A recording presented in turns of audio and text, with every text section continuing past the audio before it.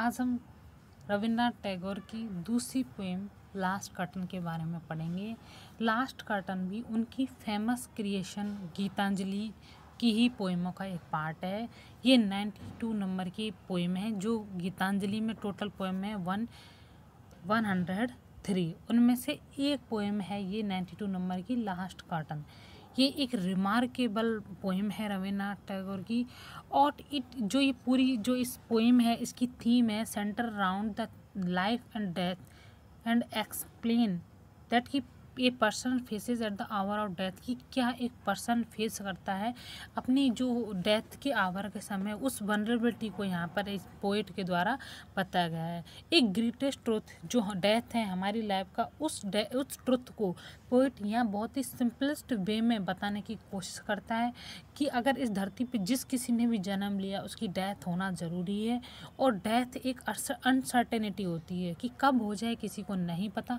तो उस जो ग्रेटेस्ट ट्रुथ है हमारी लाइफ का, वहाँ पर उसको, डेथ का, जो कर्टन है, उसको पॉइंट बताने की कोशिश करता है और यहीं पर उसको लास्ट कर्टन बोला है। ठीक है? अब बात ये आ जाती है कि कैसे पोइट क्यों चाहता है? पोइट कि हमें डेथ की जो रियलिटी है उससे अबियर करना क्यों चाहता है? ज़्यादातर जितने भी ह्यूमन बीइंग होते हैं वो अपने जितना प्रीशियस टाइम होता है उसको ए, उसको एंड कर लेते हैं फ्यूटिलिटी में। हम अपनी ह्यूमन एम्बिशनों को गेन करने की जो जो कोशिश है उसकी जो फ्यूटिलिटी है उसमें वो उसको अपने जो क्रूशल टाइम होता है इंपॉर्टेंट टाइम वो जो इन्जॉयमेंट का होता है जो थिंकिंग का होता है उसको लॉस्ट कर देते हैं। तो ये बोल, चाहे पोइट है बार बार यही बोल रहे हैं कि जो वार्डली आपकी जो पजेशंस हैं, जो अचीवमेंट हैं वो आपके कोई भी चीज़ आपके गिरेब तक नहीं जाएगी। गिरेब में केवल आप खुद जाओगे और वो जो चीज़ आपके साथ में जाएगी, वो है गुडनेस जो गुडनेस आपने अदर लोगों के साथ दिखाई है, आपने अदर लोगों के साथ कैसा बिहेव किया है और आपकी खुद की पर्सनल लाइफ है, वो किस तरह से कितनी अच्छाइयों के साथ में रही है। तो ये जो पूरी पोइम है लास्ट कर्टन ये हमें यही बता रहे कि डेथ एक इंपॉर्टेंट पार्ट है हमारी लाइफ का। अगर हमने इस पृथ्वी पर अगर जन्म लिया है तो हमारी डेथ होना भी ज़रूरी है। हम, हमारी मृत्यु होगी बट एक डेथ को हमें रिलेट रियलिटी में देखें। उस चीज़ में देखिए कि जो हम आज बर्ली पोजिशन में लगे हुए हैं, उन, उनकी जो फ्यूटिलिटी है, उसको हम देखें कि केवल हम एक अच्छे काम करके, एक अच्छा वर्क करके ही अपने मतलब अपने अच्छाई को छोड़ सकते हैं। और उसी को हम अपनी ग्रेव तक ले जा सकते हैं, ना कि हम वर्डली प्लीजर्स को, जो हमारी पोजिशंस हैं, चीज़ों के ऊपर, जैसे मकान, इन चीज़ों, इनको छोड़ के हम केवल गुडनेस को ही अपने साथ में ले जा सकते तो इसलिए जो पोइट हैं हमारे रविन्द्रनाथ टैगोर, जो बार बार इसमें यही बताते हैं और ये पूरी पोइम है, उनकी लाइफ और डेथ के राउंड ही घूमती रहती है। ठीक है? अब हम अपनी पोइम को स्टार्ट करते हैं। I know that the day will come when my sight of this earth shall be lost I know that the day मैं जानता हूँ कि वह दिन आएगा। मतलब दैट द डे का मतलब है, यहाँ पर उसकी डेथ होने का डे आएगा। When my sight of this earth shall be lost sight मतलब दृष्टि। जो उसकी इस धरती को देखने की जो ज्योति थी, जो आँखों की ज्योति सेल बी लॉस्ट वो भी खो जाएगी। अब ये तो है ही है, अगर हम मरते हैं तो हमारी सभी चीज़ें तो ख़त्म होंगी ना। And life will take its leave in silence drawing the last curtain over my eyes अब देखो, ये पोएम थोड़ी मतलब इमोशनली हमें कनेक्ट भी करती है और थोड़ी हमें मतलब एक तरह से पैसिव वे में इस पोएम को लिखाया है, ठीक है? तो ये पोएम ये बोल रहा है कि हमारी जो लाइफ है will take its leave in silence हमेशा के लिए शांति में छोड़ दी जाएगी। लीव मतलब छोड़ दी जाएगी। साइलेंस मतलब शांति से में। हमारी जो लाइफ है, वो शांति में चली जाएगी। Drawing the last curtain over my eyes ऐसा कब होगा? जब हमारी लाइफ हमें दिखना कब बंद होगा? हमारी लाइफ शांति में कब चली जाएगी? अब लास्ट जो लाइन है, उनसे हम स्टार्ट करते हैं।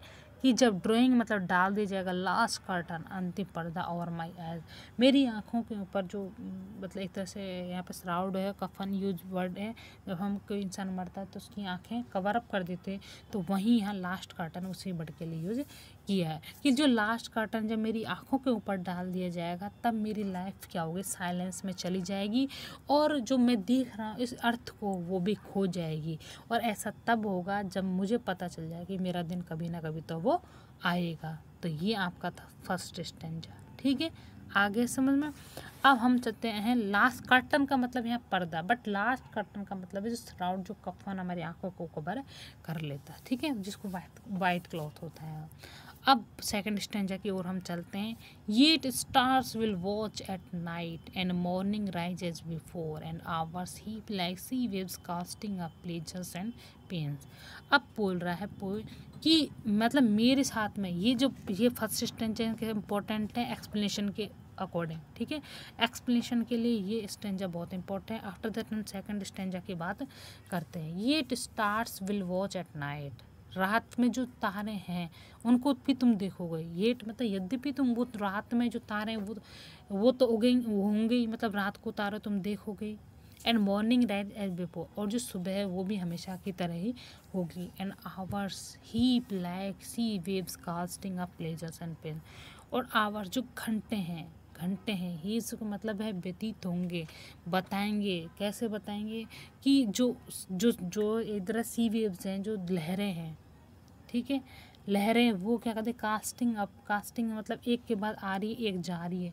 तो वो हमें इस बात का बता रही है कि हमारी लाइफ में जो दुख और सुख थे प्लेजर मतलब दुख और पीएस मतलब जो दुख थे, वो भी एक के बाद में आ रहे हैं और एक के बाद में जा रहे हैं। मतलब हमें इन चीज़ों के दुख नहीं हो रहे। जिस तरह से एक्चुअली जितने भी राइटर हैं, उन्होंने क्या किया है, वो पोएमों को। उन्होंने क्या किया? पोएमों में ज़्यादातर सी वेव्स की तुलना की है। ह्यूमन लाइफ के जितने भी सैडोज़ और जो हैप्पीनेस होती है, उनको दिखाने के लिए इन्होंने सी वेव्स की किया। क्योंकि सी वेव्स में क्या होता है, ये जो लहरें होती हैं, जिसे कंकड़ पत्थरों को फेंक देती हैं बाहर की तरफ़, किनारे की तरफ़ डाल देती हैं तो उसी, उन कंकड़ पत्थरों की तुलना इन्होंने प्लेजर्स और प्लेजर्स और पेन से की है मतलब जो दुख और सुख से की है, ठीक है?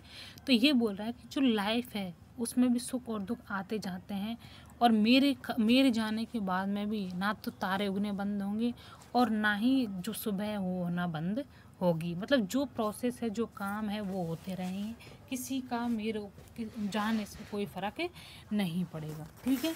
तो अब ये मीनिंग समझ में आ गया आपको? सी वेव्स मतलब होता है लहरें। कास्टिंग अप का मतलब थ्रोइंग अप दी सो किनारे के ऊपर मतलब जो टुकड़ों को थ्रोइंग ऑन दी सो ठीक है? Casting up throw in T H R O W I N G throwing on दी ठीक है? ये थ्रोइंग ऑन दी सो क्या प्लेजर्स और जो पेन है, उनको डालना, ठीक है? अब आ जाते हैं आपके थर्ड स्टेंजा के ऊपर हम आते हैं कि थर्ड स्टेंजा क्या बोलता है और क्या वो कहना चाहता है।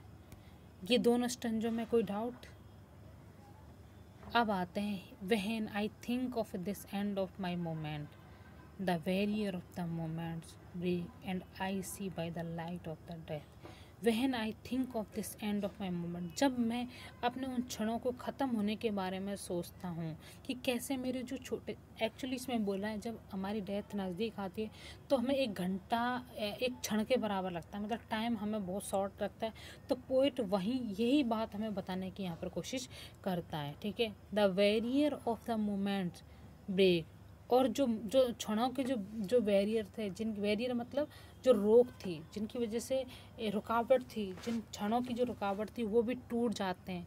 And I see by the light जब मैं मृत्यु की चमक को देखता हूँ तो जो जो मोमेंट थे, जैसे मेरे रिलेटिव्सों को देख के, या मेरी मतलब बर्डली प्लेजर्स हैं, जैसे कि मेरे धन संपत्ति, गाड़ी, इनको देखकर जो मुझे दुख हो रहा था, जो मैं क्षणों का आनंद नहीं ले जाना चाहता वो चीज़ें, जब मेरी मृत्यु की चमक मेरे आगे आ जाती है तो वो चीज़ों से मेरा बैरियर ख़त्म हो जाता है मतलब वो ख़त्म हो जाता है। मतलब मुझे समझ में आ जाता है कि मेरी गुडनेस या मैं ही अकेला इस संसार से जा, जाऊँगा। ये जो चीज़ें हैं, जिनके लिए मैं इतना परेशान हो रहा, इतना दुख हो रहा है मुझे, वो चीज़ें यहीं छूट जाएँगी और कोई मेरे साथ जाने वाला नहीं है। लेकिन ये सब चीज़ें पोइट को फील तब होती है जब उसके पास में उसे लाइट ऑफ़ डेथ मिलती। है लाइट ऑफ़ डेथ का मतलब है उसकी जो अवेकन हो जाता है, वो जो उसकी सोच है, उसमें एक अवेकन हो जाता है, वो समझ में आ जाती है संसार जो कि वर्ल्डली जो रियलिटी थी डेथ की जो रियलिटी थी, उसे समझ में आ जाती है। ठीक है?